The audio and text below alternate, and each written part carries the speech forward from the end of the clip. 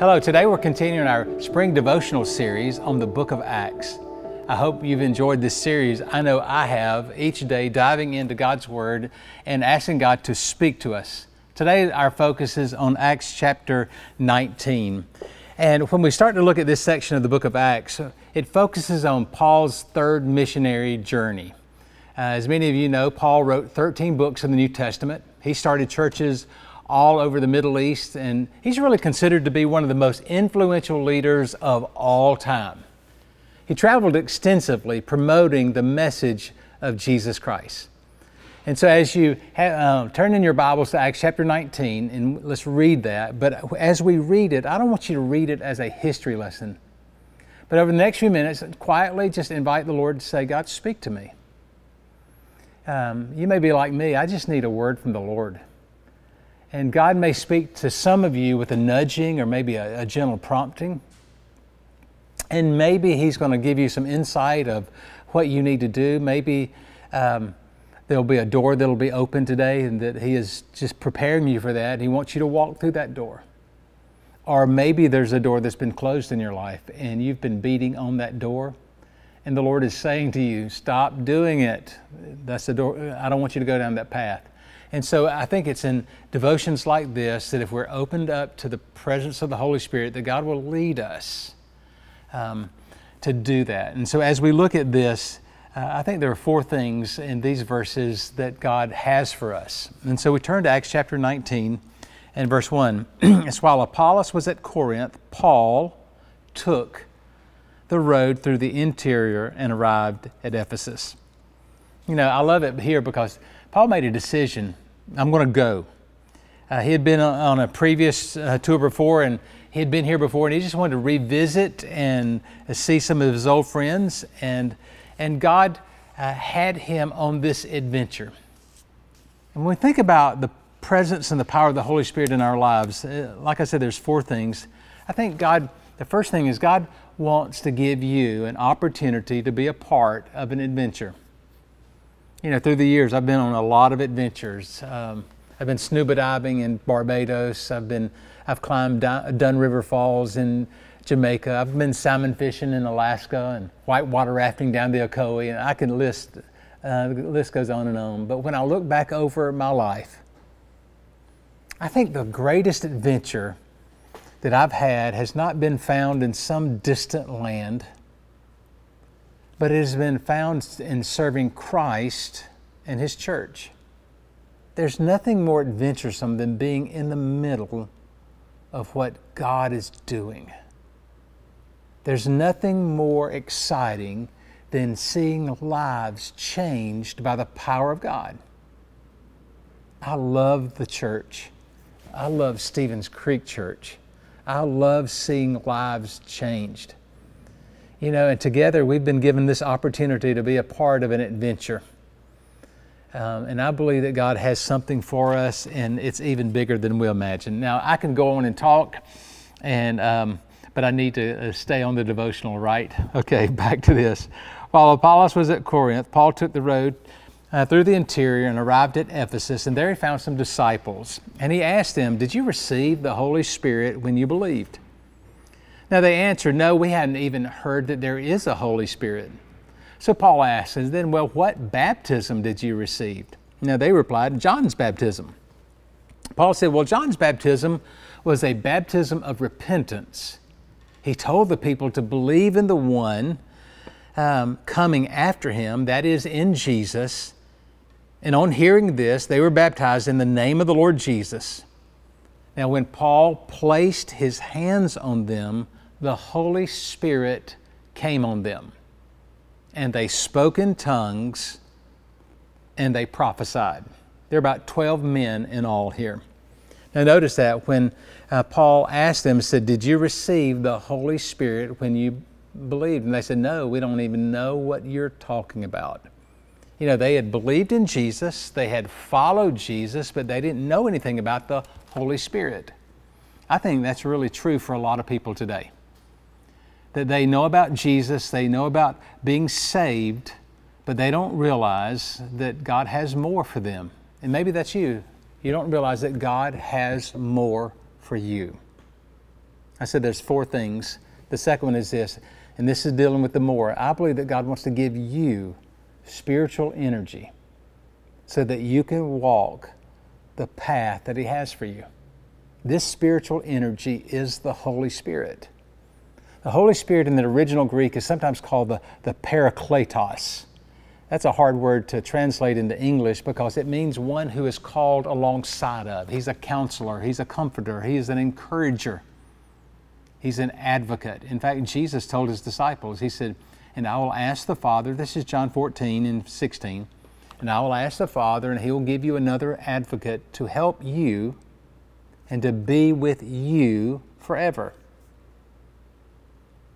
That Holy Spirit is that advocate. He is the God's active presence. He lives in us and he comforts us and guides us. He nudges us, whispers to us. But too many of us don't invite or include the Holy Spirit in our lives, and we need to. We need the power of the Holy Spirit. And you say, well, how does that happen? I say, simply ask Him. Say, God, fill me with your Spirit. Then believe that you received it.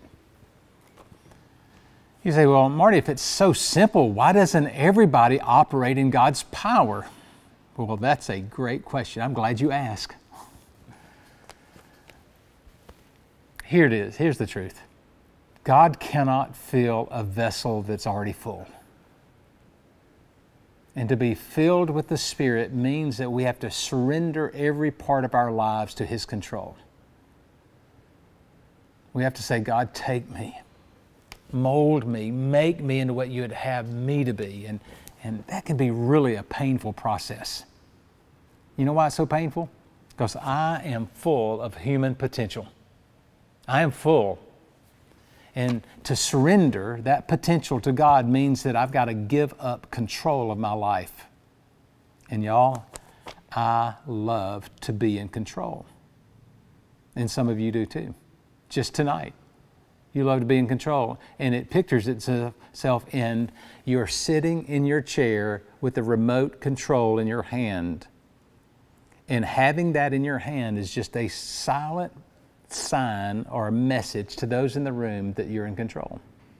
Well, I'm talking about a little bit deeper than holding on the remote, but Patty will tell you that I have issues. And so I am just using this devotional as a counseling session with that to tell you, yeah, I've got issues, control issues.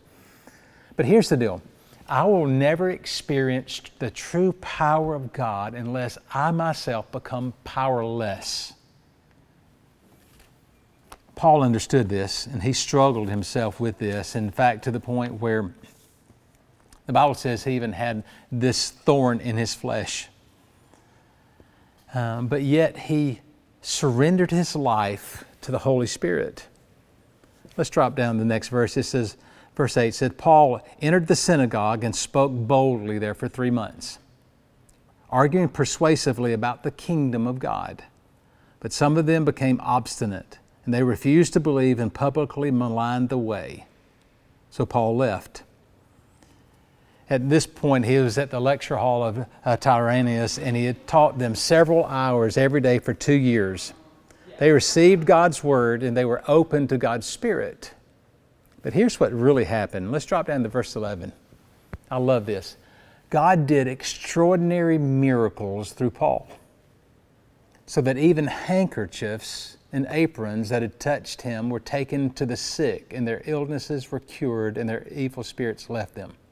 Now, let me tell you a story years ago when Patty and I were first dating. After a, a few weeks of dating, Patty came down with hepatitis. And uh, and she had to leave college and go home. And uh, I was fasting and praying and during that season and just calling on God, God, please uh, heal her because they, the doctor said that she wouldn't be going back to school and so forth. So I'll never forget one night I heard that there was a, um, right down from campus, they were having a revival service. And I went to that revival service, and the pastor, the evangelist said, had these little pieces of cloth. And he read the scripture, and he said, If you want healing for somebody else, I want you to come up here. And they anointed a, that piece of cloth, and I mailed it to Patty. Do you know that uh, she was back at school in two weeks, that the doctors and the school officials said that she wouldn't be back the rest of the semester, but God touched her. We learned firsthand the power of healing. We learned firsthand the power of Psalm 77 and 14. You are the God who performs miracles, and you display your power among the people. God is a miracle working uh, God, and He wants to display His power in you. Could it be that you're in the situation that you're in right now? Because this situation is an opportunity for God to reveal His power in your life. You know, God's never going to waste a pain or a problem, but He's going to use them for His glory. And as a result of that, God's going to give you a chance to make things right. I think all of us have made mistakes along the way, and that God gives us a chance to to make things right. In verse 17, we'll drop on down to verse 17. It says, When this became known to the Jews and, and Greeks among Ephesus, they were all seized with fear, and the name of the Lord Jesus was held in high honor. And many of those who believed now came and openly confessed what they had done. See, the people of Ephesus admitted their mistakes they were involved in sorcery and witchcraft, and, and they just came clean. They openly confessed their mistakes and, and, and came clean. If you're going to make things right, you've got to come clean. And so today, as we close out this devotional, let me ask you a question What controls you? Are you controlled by bitterness? Are you controlled by pride or anger? What about alcohol, drugs? internet pornography, lust. What is it? Is it overspending, overeating? What is it?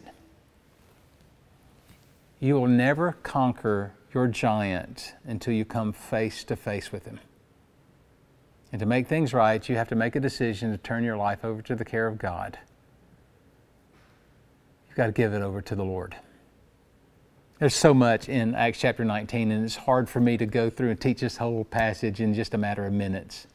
I want you to take some time, read through it, and say, God, speak to me through this word. I believe God's word will change your life. And today I want to uh, close out our devotional just with a time of prayer, and I want to just speak God's word over you. Let's pray together. Father, in the name of Jesus, I pray for those watching today. Some of them are getting ready for the day, others uh, have been up sometime. But we're all in different places and we're dealing with different things.